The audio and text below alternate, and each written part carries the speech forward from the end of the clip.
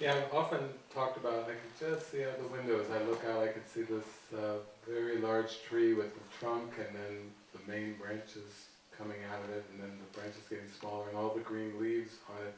It's very much like consciousness that, um, that, um, that does seem to be a very good question. Like if there is like a taproot or there was a way, if the, if the tree represented consciousness and you were told that the tree isn't real and that you ultimately have to just release the whole tree, the wise thing would be to get a big chainsaw and go right down to the base of the tree and say, all right, we can, we can handle that. Let's just get a crew in here and let's get maybe a little bit, a, a lot extra work, but let's get a very big, powerful, maybe a set of chainsaws and let's go right in for it right there.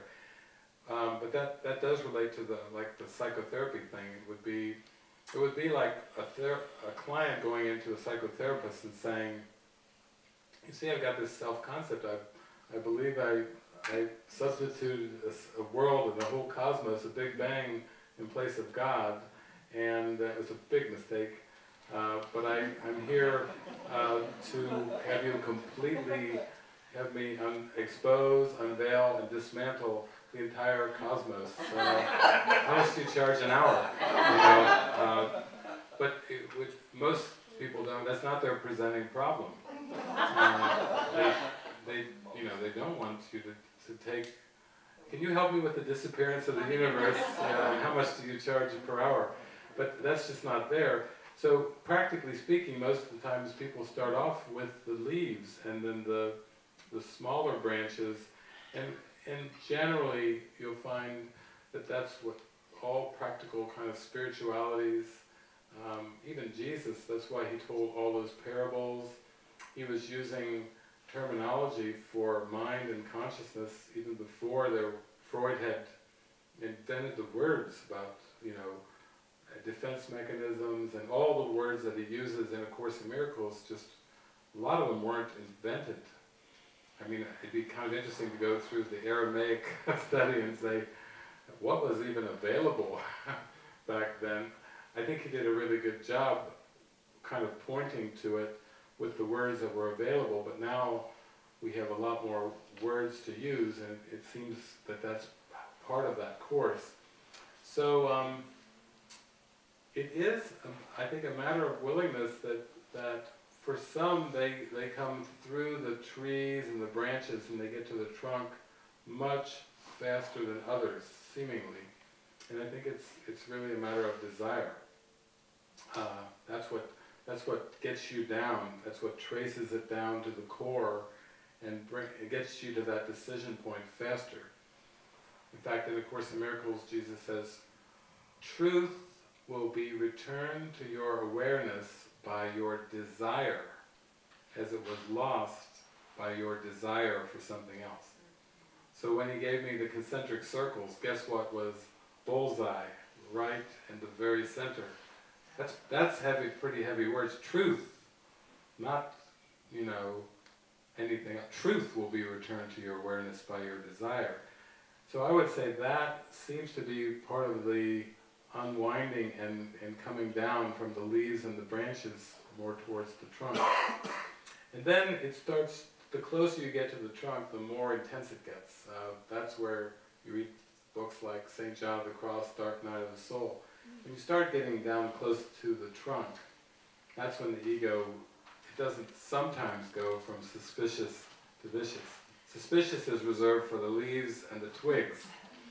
Uh, when you start to get down near the trunk, and which is unplugging from it and, and its whole perceived existence and, and so forth, that's when everything gets more and more intense. Intense rage, intense, enormous fear, intense fear of, of loss of control, abandonment, so on and so forth. It gets more and more intense, and it gets more non-specific. When you're up playing with the leaves and the twigs, it's all very specific. You know, you think, you know, that's, uh, I, I, if I ever see that, you know, it's like you can think of, you've got their names, you've got the memories, and you're really got some real specific, I will never forgive, but never forget. I will never forget when, you know, da da da. But once you get down towards the trunk, it's just this intensity, and it's very non-specific. Like you could be just sitting on a couch meditating, and then this intense rage comes up, and you look around, you go, "What triggered that?" you know, the little leaf falling off and dropping down here, ruining my environment. Clean it up. you know, you can just rage and rage. But but it's like that's how it gets. You know, when you start to get down there closer to the plug, of course the ego is like it doesn't want its whole seeming existence unplugged. So that's where it's it's really good. I mean, even at that point, even if you have mighty companions around you, the ego will try to project on the mighty companions you know, get out of my face. I'm, I'm going through rage here. You know, that's how it gets when you get down there. Because, because it's just, it's just the way that it seems to be in the approach. And then when you finally get down to the core, to the decision point, it's more like a little Buddha movie I mentioned last night. It's just, there's no flaming arrows at all. It's just all like petals, like rose petals and orchids and lilies, and it's just all beautiful. But in approaching that, that's the way that it just seems to go. And, and you know, is there like a taproot? You know, I, I did many years ago, uh, before 9-11, back in the 1990s, I talked about the Twin Towers. I was constantly going around. The Holy Spirit was using the Twin Towers parable. And the Holy Spirit was saying that, that there is like a master switch uh, in the basement of the Twin Towers, because I was using the Twin Towers, you know, so many floors, New York City and everything, and and if you get down to the master switch, then the towers will, will light up. the towers will completely light up and be gone. And and that was a parable that was told back in the 1990s. It was interesting, after the Twin Towers did come down, uh, some people were finding like, oh, I was reading in my study group this little pamphlet that you had, it was called Mind Overhaul or something like that, and or Purpose is the only choice, one of them, and, and they said, I was reading about the Twin Towers coming down. when did you write this thing? It was back in the 1990s. But that was kind of another uh, example of the master switch does get down to cause and effect, and oftentimes I talk about hypotheticals and time being simultaneous instead of linear, and that's that's really the taproot. It seems like with that metaphor that when you're not really ready to get to the taproot, then it seems like you're going through the individual rooms and you're turning the light switch on in all the darkened rooms, room by room by room. And with the Twin Towers, it's a lot of rooms. But the master switch has to do with causation.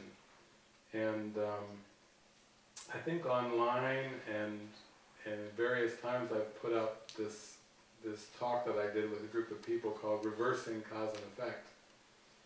And one of my students years ago, Jeffrey Lake, he he I think he read through that like six times before he started to have the light bulb going off. Like his, his eyes would move across it and he would read it and then he would go, no, I don't get it. And he would go through it again, and read the dialogue again, and it was like six times before there was a boing, like a light bulb going off, because the master switch, the tap root, is heavily guarded. You know, just imagine if, if, if the mind, the seed mind is filled with systems and systems of defense mechanisms, then the master switch is, the, is going to end the whole charade, it's heavily guarded by the ego. Talk about Fort Knox and a fortress. You ain't seen nothing until you've seen how this is guarded. Some of you watched The Matrix, the keymaker, you know, and they're saying there is a door, but the door can only be opened by the one. Which is true. there's, a, Vigo has made sure that door is not going to be opened by a human being, because the whole construct would would disappear, and all human beings in the whole world would would be retranslated into love, into a forgiven world. So there, there is the taproot, but it's it's just it's if you really want to kind of go for the taproot, we have a little teeny booklet. Do we still still have that with us out there? Purpose is the only choice. Do we have one of those? It's it's very tiny. It's one of those that you can you take off to your hermitage. Of course, Eric's been through that so many times. He's he's like he's beyond beyond the little book. Yeah, this this could be subtitled. It could be called "Purpose is the Only Choice." Finding the taproot. and look how small it is. Isn't I should it? have all those books, that's the one that talked to me. It's funny but now, and here you are asking for the taproot. In fact, when I just popped it open, it, it just, I read the first word, it was stop, exclamation point. That's the first word out of the whole book, but it caught my, yeah, let's see what it says. I don't know. So the key is to follow the cord down to the plug, purpose, and unplug it. But if one is holding on to a belief system of linear time, of bodies, nature, and all the things of this world, then as one starts to go down, the ego shouts, stop! Mm-hmm. Exclamation point, in italics. You don't want to do this.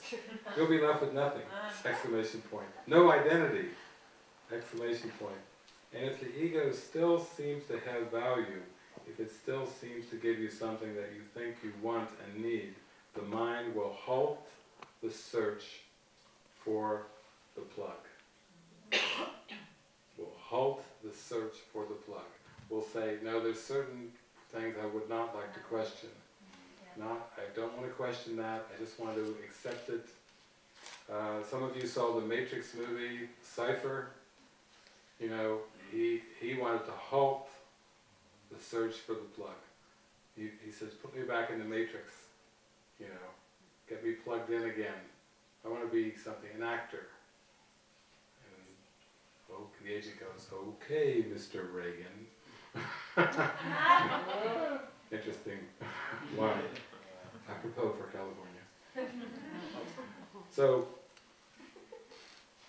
uh, it says, ironically, in its attempt to handle the loud noise of the blender, the deceived mind will retain defense mechanisms and distractions on the surface, the projected world. Following the cord down, in this analogy, is the same as tracing upsets from specifics to the false belief that produced them, or becoming clear on the distinction between form and content. Once this is clear, once one is able to discern what comes from God and what doesn't, what is true and what is false, and thus realize that only the truth is true and there is nothing to decide until that realization is reached. Purpose mm. is the only choice. Mm. Oh, out of the whole thing, I just picked the, the paragraph with the title in it. but that's like a key thing. So that's that's really is it's where Tara's question started about you know questioning and inquiry, and really that's really the taproot. That's what the goal is.